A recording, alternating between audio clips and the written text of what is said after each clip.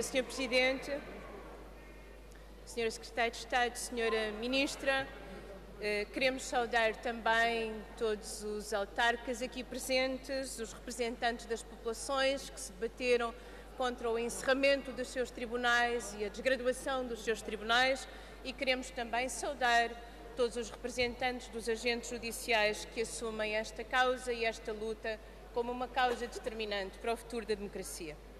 E nós apresentamos aqui um pedido de cessação de vigência deste mesmo decreto-lei e até punhamos a hipótese de a maioria nos poder acompanhar se quisesse ser generosa com o Governo, uma vez que é previsível que em setembro os problemas sejam muitos e que aqui estejamos a discutir exatamente esta matéria, se fossem generosos, davam esta oportunidade ao Governo. Eu quero aproveitar este tempo para nós nos situarmos exatamente perante os dois grandes problemas que este decreto-lei nos coloca. Em primeiro lugar, o respeito pelo comando constitucional do acesso à justiça. E ainda sobre aquele que é um objetivo estratégico do próprio programa de governo, Uh, e cito mais ou menos de uma forma livre, assegurar o acesso universal à justiça e ao direito, garantir a tutela judicial efetiva dos interesses legítimos dos cidadãos, em particular dos grupos mais frágeis da sociedade. Isto está escrito no programa do 19º Governo. E a questão que hoje aqui debatemos é fecha a escola, fecham os correios, fecha o centro de saúde, fecha a repartição de finanças, fecha o tribunal. Bom, enfim, porque é que os senhores não apresentam um decreto-lei para fechar o interior do país? Este é o debate que aqui fazemos hoje. E nesse sentido, não é inocentemente, não é inocentemente que nós olhamos para o mapa e que reconhecemos os distritos mais afetados com o encerramento e a desvalorização dos seus tribunais.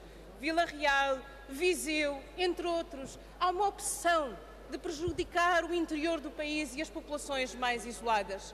Mas, relativamente a Faro, pergunto também, aliás, já fiz esta pergunta eh, de forma tão insistente: fecha o Tribunal de Monchique. São populações da Serra, são populações idosas que vêm das aldeias, e que agora vão ter que passar a ir ao Tribunal por Timão. E eu pergunto, com que custos? Porquê? Quem paga estas deslocações? O prejuízo destas populações? E neste sentido, este é o debate que fazemos. Esta opção prejudica o acesso das populações aos tribunais, sobretudo das populações mais isoladas, das populações mais idosas. Mas há um outro segundo problema que nós devemos discutir com seriedade é que reformas desta natureza exigem tempo, exigem diálogo, exigem consensos, exigem dinheiro, exigem recursos humanos à altura, recursos técnicos à altura. É tudo o que estas reformas exigem e elas é o que não há. Não há nem haverá.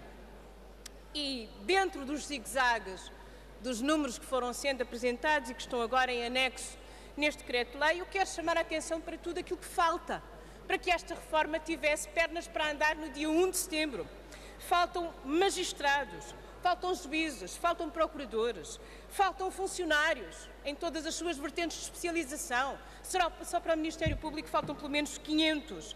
Faltam meios, nomeadamente meios informáticos, para garantir a distribuição dos 3 milhões e meio de processos que devem ser transitados para as novas comarcas, quer no plano físico, quer no plano eletrónico falta formação, falta meios para garantir a formação de todos os agentes envolvidos neste processo, falta clareza, falta clareza nos critérios de nomeação, pelo menos é o exemplo que temos da nomeação de alguns juízes para os tribunais de comarca.